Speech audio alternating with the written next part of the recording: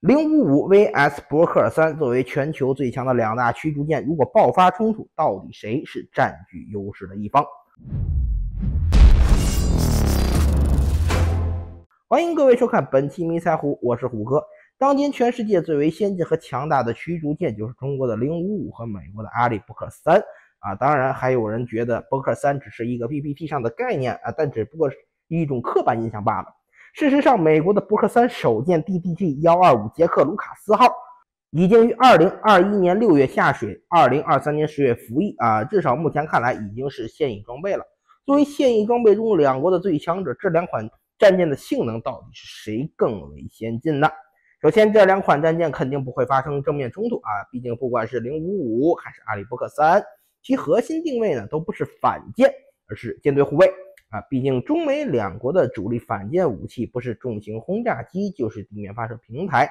美国的 B-1B 战略轰炸机可以携带二十四枚重型反舰导弹，中国的陆射东风也不差。不管是速度还是射程，都远超海军舰载机。所以，如果想要对比这两艘军舰谁更强大，需要对比的是他们的防空能力和反潜能力。这是舰队护卫的核心工作。首先就是防空能力。那防空能力的本质就是雷达探测能力。关于这一点，中国驱逐舰在过去很长一段时间里都是没有资格说话的。美国的驱逐舰目前是以大型 S 波段无源相控阵雷达为主，探测距离远，精度不高。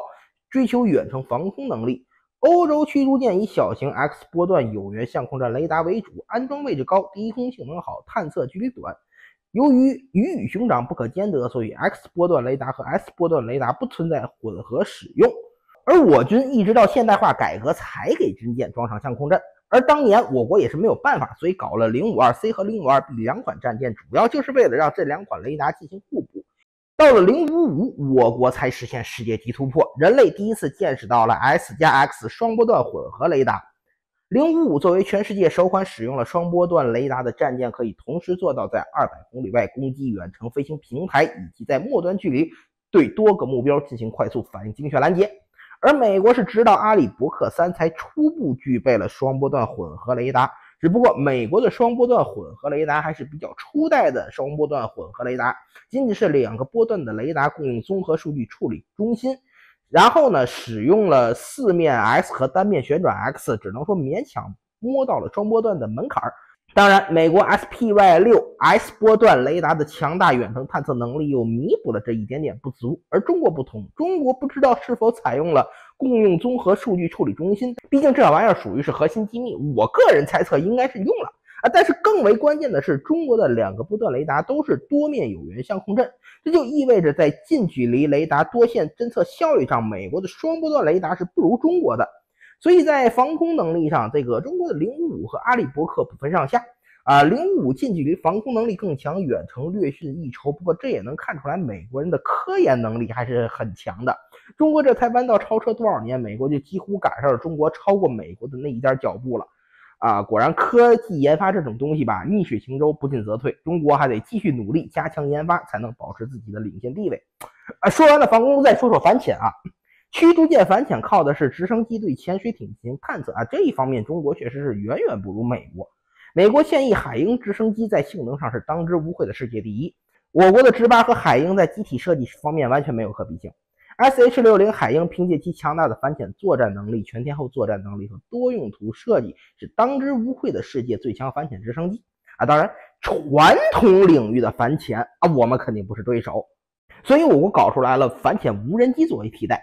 啊，诚然，我国的直升机技术目前是比不上美国人的，并且在未来很长一段时间内都会是我军的一个短板。但所谓没有张屠户，你就不吃带毛猪了。虽然我们的直升机不行，但我们的无人机更强。尤其是我国还开发出了小型化的太赫兹设备，用于搭配小型反潜无人机啊。别的不说，这东西你拿来抓大黑鱼，是真的一抓一个准儿。在反潜方面上啊，中国和美国估计算是五五开吧。最后就是对比双方军舰本身设计。如果真让这两款军舰单挑啊，伯克三的优势是他们配备的最新 SPY 六雷达的探测距离远啊，这个或许是目前全世界最先进的远程探测雷达。而中国的三四六 A 在近距离多线能力更强，导弹拦截效率更高。啊，在这种情况下，双方就能比拼的就只有一个实力了。零五五一百一十二个坑，伯克只有九十六个。中国还装备了比美国更为先进的导弹。